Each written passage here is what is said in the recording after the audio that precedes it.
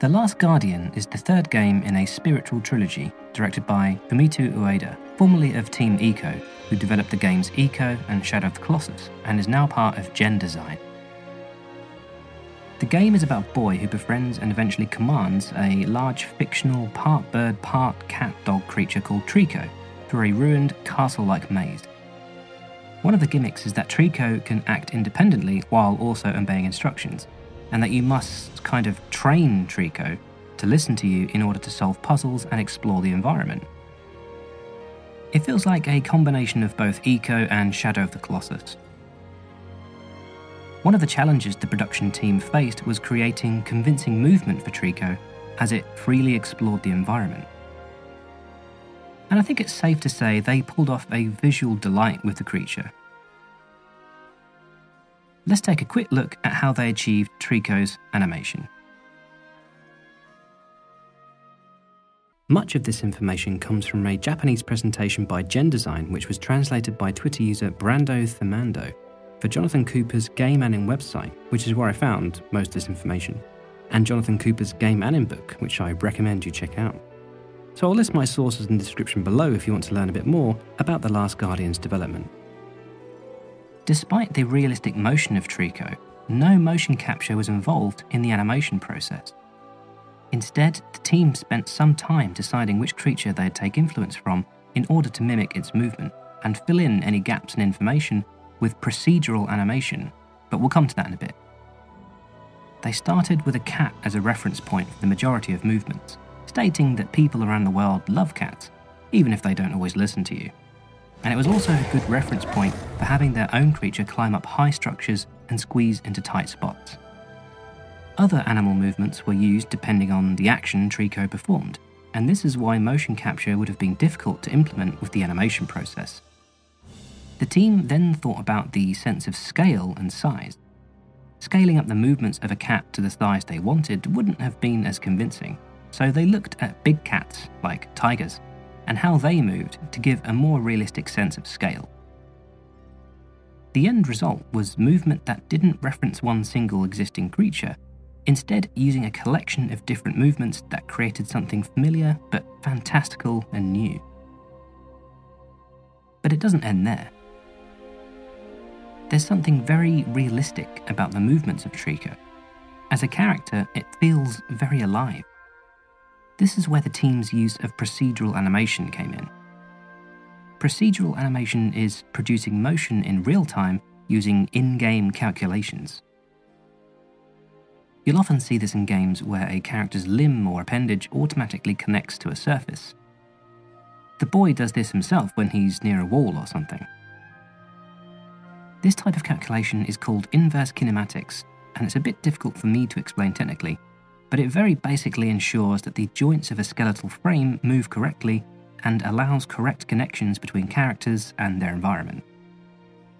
This procedural animation is what allows Trico to explore its environment naturally. The animators will have programmed a walking motion into Trico, which would work well on a flat terrain, but animating that same motion on varying levels of terrain would be incredibly laborious and time consuming.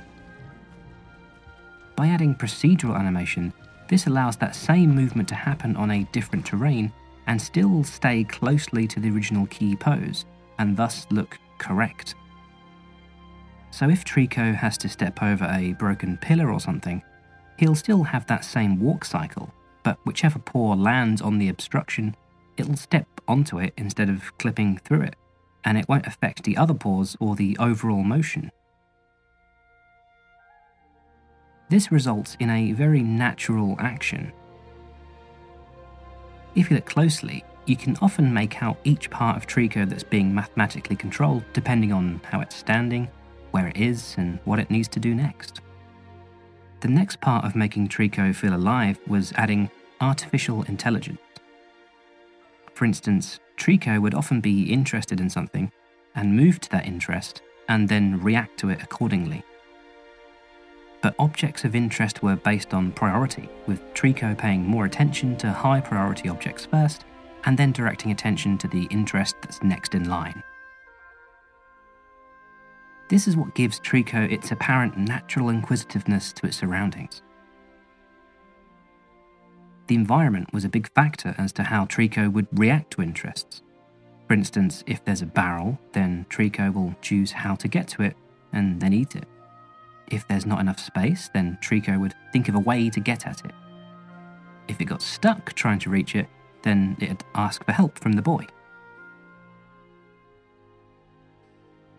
The actual action of looking at a point of interest is literally called look at, which is linked to inverse kinematics. Particularly for Trico, the designers felt that simply moving and rotating his neck and head to look at something gave a somewhat robotic feel, and added in a method which fixed the head position followed by the neck, which they called lion dance control, which references what some real world animals can do in where they control their bodies while keeping their heads still. The designers felt this added a bit more realism to Trico. Corrective action was another form of a calculation that kept Trico feeling real.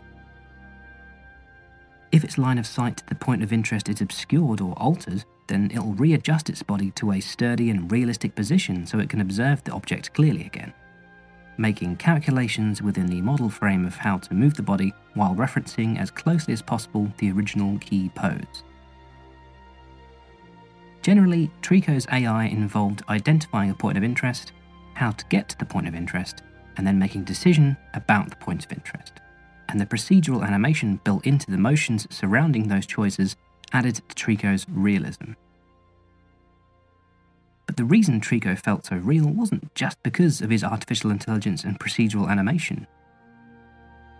Calculated movements can only do so much. They can't replicate or produce strong, interesting poses. The corrective calculations which gave Trico realistic movement would only work if there's manually animated keyframes to begin with. Each new calculation regarding the environment still has to stick realistically to the key pose that's been manually animated into Trico. The magic bringing Trico to life was a complex mixture of artificial intelligence, procedural animation, and good old fashioned animation by hand, using real world animals as reference points to create strong, dynamic key poses and we leave the game remembering Trico as a character much more, because of this multi layered production into its movement. And that is how Trico was animated. Thanks for watching this quick one, and thanks to my patrons for funding this episode. Let's pick a random one. Uh, ben Williams. Thanks, mate. Good name. I like the double L in your surname there, and I like the B in Ben. It's good. I like it. Okay, have a great festive holiday, everyone, and see you in the new year. Love you, bye.